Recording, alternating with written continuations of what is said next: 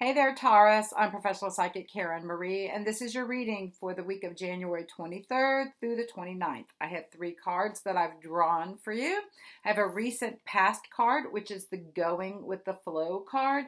This indicates that there has been some ease, some flow, following your intuition, letting the things just guide you, letting things roll off, not, in, not being too shaken up or stirred up by what's going on in the world around you, at least not recently. It also could indicate you've been in or around water or trying to drink more water, that you've been conscious of the water element in your life. The card that represents you right now is the clinging to the past card. So this is like old stuff that may have bubbled up, old karmic issues, karmic patterns, things you've gotten locked in a nut with and gone over and over and over again, uh, recycled debris, old patterns of the way you've talked to yourself could be up.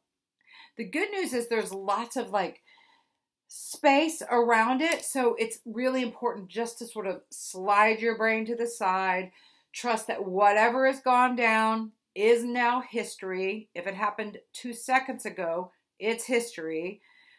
Even more so, two days ago, two weeks ago, two decades ago, like whatever it is, it's over. Your point of power is always in the present moment. So gather yourself, center yourself, in the right now. If it's something right now that feels triggering, it may be something for you to look at as well, though. There may be a piece in it that you are supposed to see, something you're supposed to shift or change so that you don't keep repeating the same pattern.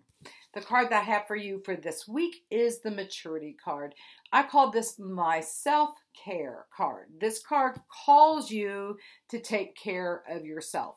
That's different for everybody, but it can be get those bath salts and soak in the tub. It can be buy yourself flowers. It can be make sure you're eating healthy and not doing alcohol or sugar or flour. It could be that you're just nurturing yourself by following things that you long to do, or that you may want to disassociate yourself from the people in your life and just spend some quality time by yourself, meditating, doing some yoga, breathing deeply, reading a great book.